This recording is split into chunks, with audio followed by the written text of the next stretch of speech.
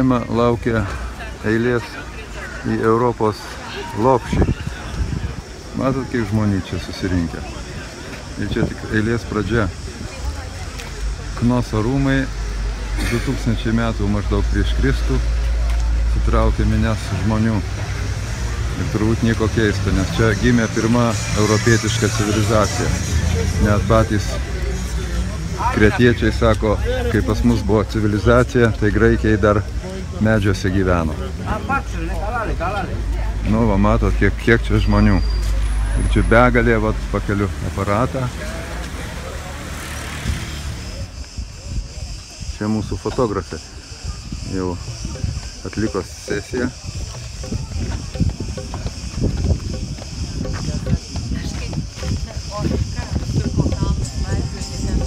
Laima žengia į Minų dinastiją.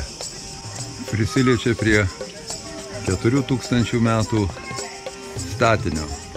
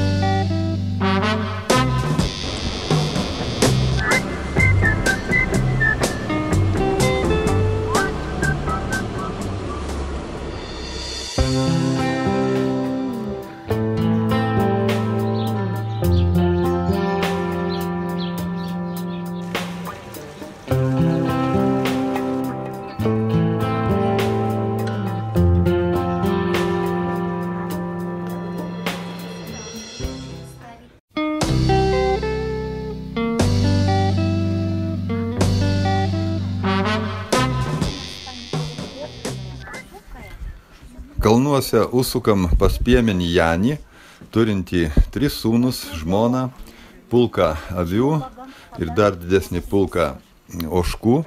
Sumaišęs rytinį pieną pagamina varškę, kurią mes čia įragaujame. Skonis puikus. Atvaizdu, sakykit, faristas. Evharisto. Evharisto. Ne, bravo. Tokios skanios varškės gyvenime nevalgiau. Matyt, kad jinai iš iškoškų. Todėl ir skani.